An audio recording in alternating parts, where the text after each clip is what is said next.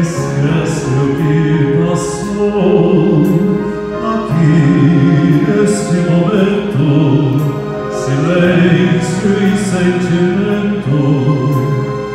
Sou o teu poeta, eu sou o teu cantor, teu rei e teu escravo, teu filho.